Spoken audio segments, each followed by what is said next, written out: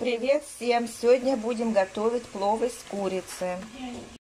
Обжарили курицу просто в сухой сковородке со всех сторон.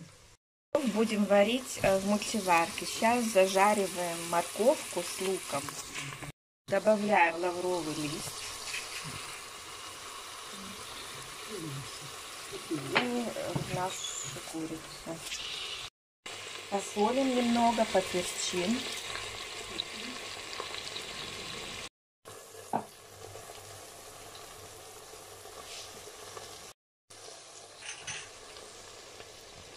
Так, бросили рис, попробовали на соль, если нужно, добавим. А, заливаем водой, добавляем еще кориандр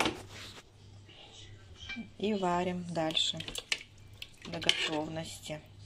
Мультиварку ставим на режим плов.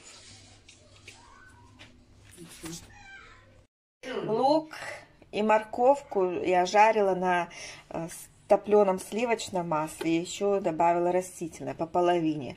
А где-то 5-6 зубчиков чеснока я почистила, помыла и добавила в середину плова. Плов мы готовили свой любимый на наш вкус и добавляли свои специи.